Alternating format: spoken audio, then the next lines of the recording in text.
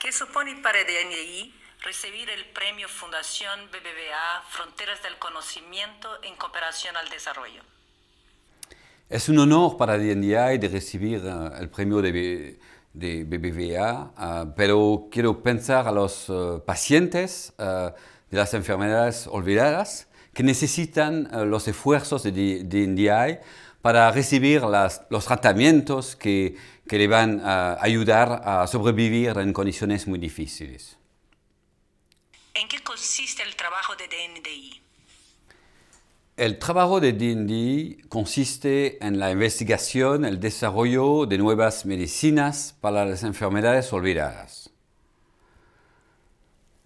Para lograr nuestros uh, objetivos nos hace falta tener uh, el compromiso de las empresas farmacéuticas, del sector privado y del sector uh, público con las academias, pero también los programas nacionales y las ONG que apoyan el desarrollo final de esas medicinas.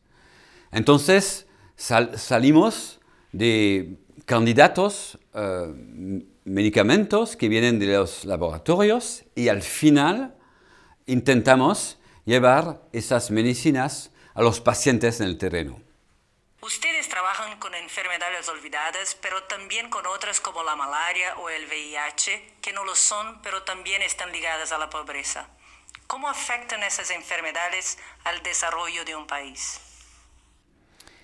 A mí me gusta decir que DNDI trabaja con enfermos olvidados, que son muy uh, afectados para la pobreza, porque viven en países pobres, pero también en regiones que son muy difíciles.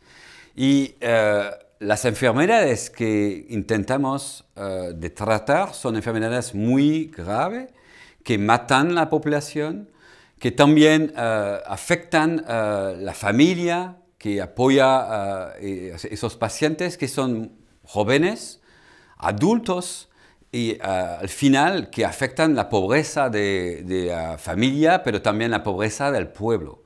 Entonces, la relación entre pobreza y las enfermedades olvidadas es una relación muy estrecha. ¿Por qué dicen que el tratamiento ideal, además de barato y eficaz, debería ser oral y de corta duración? Bueno, el tratamiento ideal uh, tiene que ser uh, adaptado a las condiciones de los pacientes. Entonces, uh, el costo de las medicinas es muy importante, la eficacia de las enfermedades de las medicinas es importante, pero lo que hace falta es de usar esas medicinas en las condiciones de vida.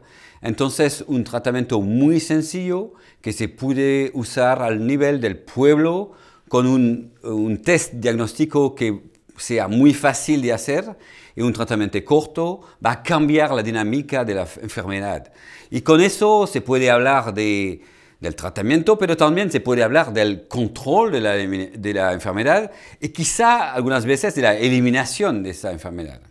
En 10 años han desarrollado seis tratamientos nuevos para malaria, chagas, leishmaniosis y enfermedad del sueño. ¿Cuáles son los próximos que esperan desarrollar? Durante los últimos años hemos desarrollado tratamiento a base de, medicinas que existían.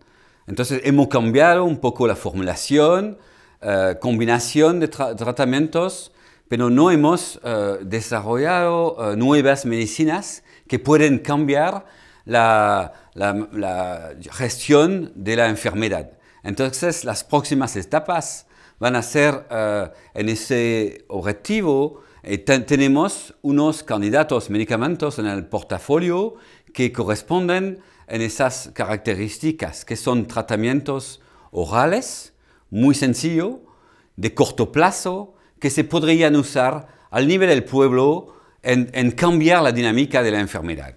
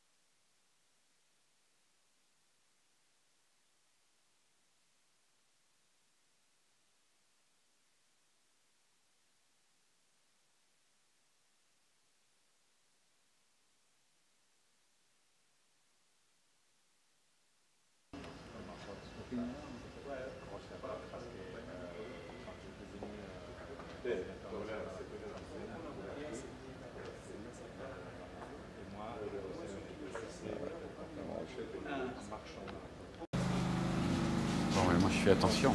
Ah non, on peut s'arrêter, on peut s'arrêter aussi. Ah bon. D'accord. Donc je peux regarder son.